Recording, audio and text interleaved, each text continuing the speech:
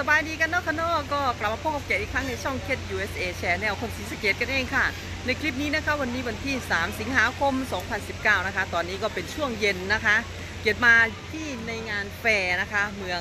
วอชิงตันวิลเป็นงานแฟร์เล็ก ๆ นะคะเล็กห่างจากหมู่บ้านเกดก็ประมาณ 20 นาทีนะคะ ประมาณ 20 นาทีขับรถมาที่นี่ เกดก็จะพาเดินเข้าไปดูนะคะว่าเขามีอะไรบ้างนะคะ จริงๆ งานตรงนี้เขาจัดขึ้นเป็นประจำทุกปีนะคะ เป็นงานประจำปีนะคะ หารายได้เข้าสู่เมืองของตัวเองนั่นแหละนะคะ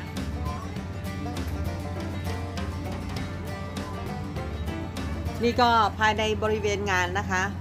เข้ามาก็จะเห็นมีเครื่องเล่นนะคะ ให้เด็กๆ แล้วก็มีเกมปาลูกโป่งได้ของเล่นได้ตุ๊กตาได้อะไรพวกนี้นะคะพ่อแม่เขาก็พาลูกๆมาเดินนะคะ ตอนช่วงเย็นๆนะคะก็จะมีชิงช้ามีสไลด์ เขาเรียกฟันสไลด์นะคะเขาจะให้เด็กๆ นั่งกระสอบนะคะ จะมีกระสอบให้นั่งแล้วก็ลื่นไหลลงมานะคะ ก็เล่นตามภาษาเด็กๆนะคะก็มีเครื่องเล่นหลายอย่างค่ะไว้สำหรับเด็กๆนะคะ แล้วก็มีพวกอาหารการกินต่างๆนะคะ ก็จะเป็นพวกอาหารฝรั่งเขานั่นแหละค่ะ มีฮอทดอก มีพิซซ่า มีข้าวโพดปิ้งก็มีนะคะ พิซซ่าค่ะ ก็เป็นเครื่องเล่นของเด็กๆนะคะ เด็กก็ต่างสนุกสนานกันใหญ่เลยค่ะ มี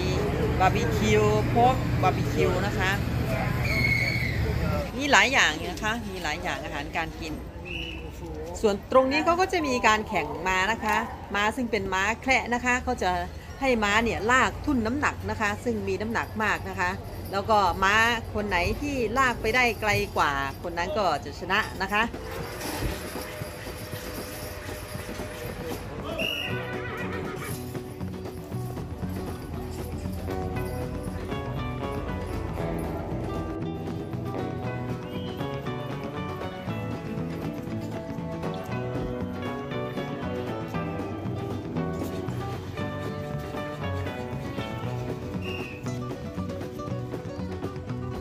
ส่วนถัดมาทางนี้ก็จะเป็น tractor pull นะคะ ก็จะมีแต่รถแทรกเตอร์รุ่นเก่าๆทั้งนั้นนะคะ ที่เขาจะเอามาแข่งกันนี่ ก็จะเอามาลากทุ่นน้ำหนักที่เหมือนกับม้าลากลักษณะนั้นแหละนะคะ ตรงนี้ก็จะเป็นที่นั่งของคณะกรรมการนะคะ ไว้คอยตัดสิน แล้วก็มีถ้วยรางวัลแจกให้ด้วยนะคะ นี่นะคะก็อย่างนี้ละค่ะเขาก็ลากมาอย่างนี้ละค่ะแทรกเตอร์ก็ลากทุ่นน้ำหนักมาอย่างนี้นะคะ ก็ไปได้ไกลขนาดไหนเขาก็จะวัดนะคะว่ารถคันไหนไปได้ไกลที่สุดก็จะเป็นคนชนะ ก็นี่นะคะ ก็มาได้เท่านี้แหละค่ะเพราะว่าทุนน้ำหนักนี้หนักมากนะคะ เก็บก็ไม่ทราบเหมือนกันนะคะ ว่าน้ำหนักเท่าไหร่นะคะ รู้แต่ว่าหนักมากนะคะ ก็เขาก็จะถอดออกนะคะนี่นะคะปลดออกแล้ว เพราะว่าเขามาได้แค่นี้เองนะคะรถคันนี้มาได้แค่นี้เอง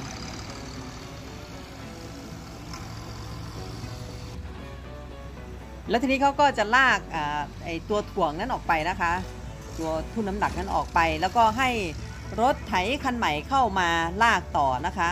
ทีนี้ก็ไอรถคันนี้นะคะเขาก็จะมีการเกลี่ยหน้าดินนะคะนี่นะคะก็จะมีรถเกลี่ยหน้าดินให้เรียบนะคะ และนี่ก็อีกคันหนึ่งนะคะคันนี้ควันดำขโมงโฉงเฉงเลยพี่น้องเอ้ย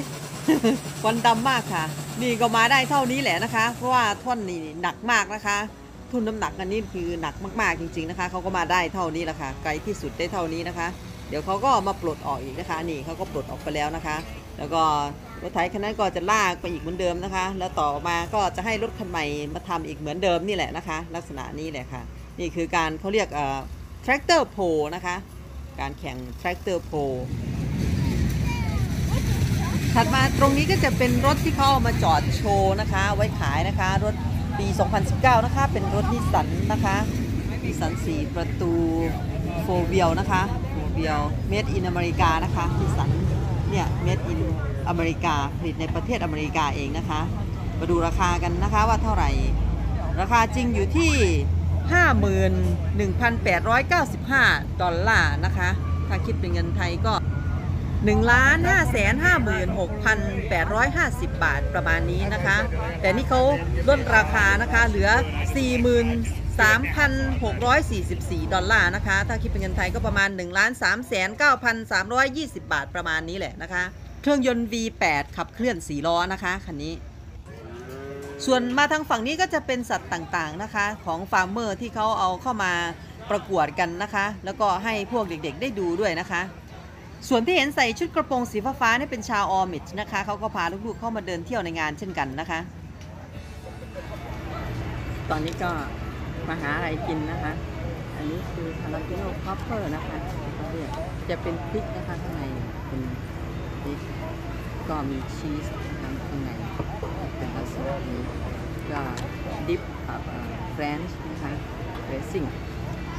ก็อร่อยนะคะที่ชอบกินอืมสามีนั่งมองหัวเราะ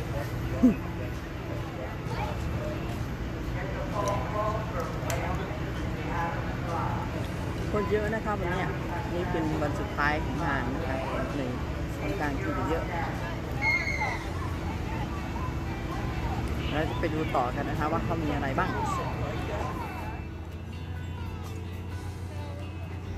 มาทางฝั่งนี้ก็จะเป็นพวกเครื่องเล่นต่างๆ ของเด็กๆ นั่นแหละนะคะ ก็สนุกสนานกันใหญ่เลยค่ะ มีสามีเดินนำหน้านะคะ เขาไม่อยากจะเข้ากล้องค่ะเขาเหนื่อย และอาคารหลังนี้ก็จะเป็นการแสดงพวกผักพวก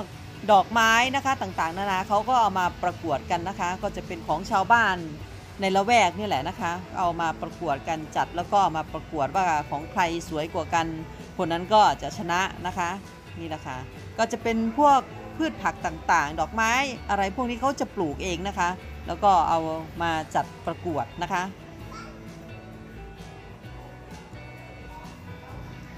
ส่วนในซุ้มตรงนี้ก็จะเป็นของที่เขาได้รางวัลชนะเลิศนะคะ ที่เขาจัดประกวดได้รางวัลชนะเลิศนะคะ ก็คือ best of show นะคะ นี่นะคะแล้วจะมีหลากหลายนะคะ มีผักต่างๆ มีผลไม้ต่างๆ เยอะแยะนะคะ เขาก็เอามาประกวดกัน นี่นะคะ เป็นพริกเป็นข้าวโพดเป็นอะไรต่างๆ ก็จะจัดลักษณะนี้แหละค่ะจัดวางนี่คือของชาวบ้านนะคะของชาวบ้านในละแวกนี้นะคะ อันนี้จะเป็นข้าวสาลีนะคะจะเป็นข้าวสาลีข้าวโพดไข่อันนี้ก็เป็นหญ้านะคะหญ้าแห้งก็มาประกวดเช่นกันนะคะ ว่าของใครงามกว่ากันนะคะเก๋ก็ไม่รู้ว่าเขาตัดสินยังไงเด้อหญ้านี่นะคะก็จะเป็นผลหมากรากไม้นะคะ มีพัมคินฟักทองนะคะมะเขือเทศ อันนี้เกาลัดนะคะ เกาลัดของเขาได้ร่วงแล้ว ปีนี้อะไรจะร่วงเร็วแท้ของเกดยังไม่แก่เลยค่ะ นี่นะคะ อย่างที่เห็นนี่แหละค่ะ อันนี้รากแดงๆนี่ก็จะเป็นเขาเรียกโกดน้ำเต้านะคะ ถ้าเป็นภาษาไทยเราเรียกโกดน้ำเต้า นี่แหละค่ะ เยอะแยะหลากหลายเลยนะคะ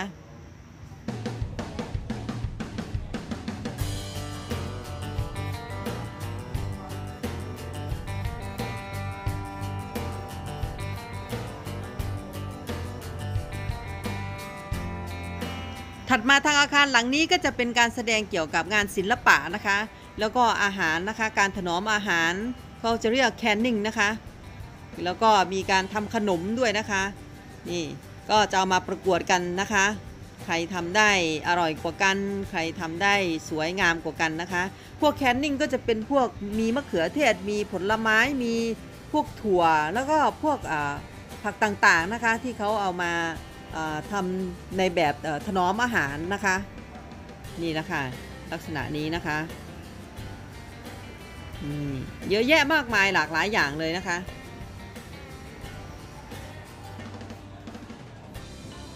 ส่วนถัดมาทางฝั่งนี้ก็จะเป็นงานประดิษฐ์นะคะ ก็จะเป็นของพวกเด็กนักเรียนบ้างของชาวบ้านบ้างนะคะ ก็เอามาประกวดกันนะคะ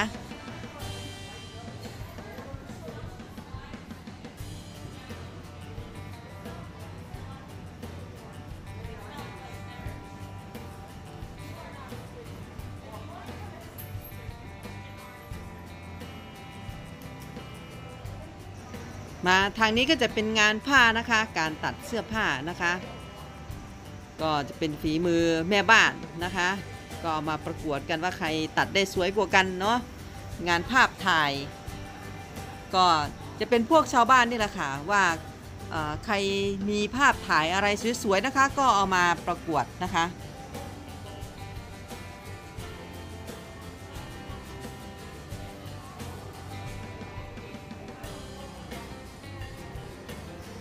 ส่วนมาทางฝั่งนี้ก็จะเป็นงานถักนะคะ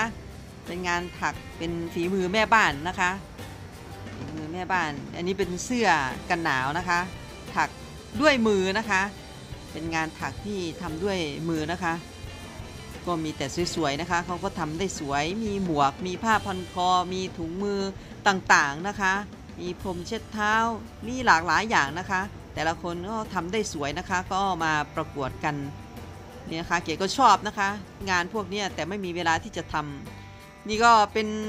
เอ่ออาคารที่เขาแสดงดนตรีนะคะ ดนตรีนี่ก็จะเป็นฟรีนะคะ ชมฟรี งานแสดงฟรีสามีเรียกให้กลับแล้วค่ะ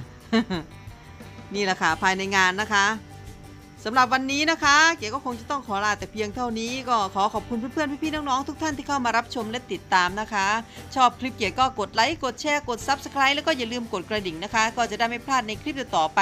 ขอขอบคุณทุกๆ ท่านนะคะ ขอให้ทุกท่านโชคดีมีความสุขกันทุกๆ คนในทุกๆ วันค่ะ กลับมาพบกันใหม่ในคลิปหน้าค่ะ สวัสดีค่ะ